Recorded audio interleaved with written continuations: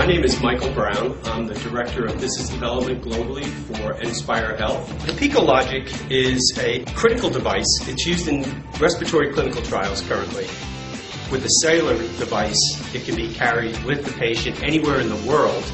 It's an electronic diary that has two components to it. It has a peak flow meter that the patient would use at home during a clinical trial. They would blow into the peak flow meter, answer the questions that pop up on the screen, and that data is simply transmitted via cellular technology back to our servers here in Colorado, and then pushed back out to the physicians that are conducting that clinical trial with that particular patient, back out to their offices anywhere in the world, pretty much instantly. We are now using AT&T for our privatized channel communication services from the eDiary device. AT&T answered our call for flexibility.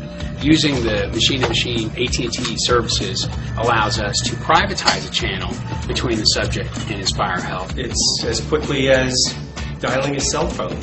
We're excited. We, we consider it a dare to our competitors, and they should be afraid.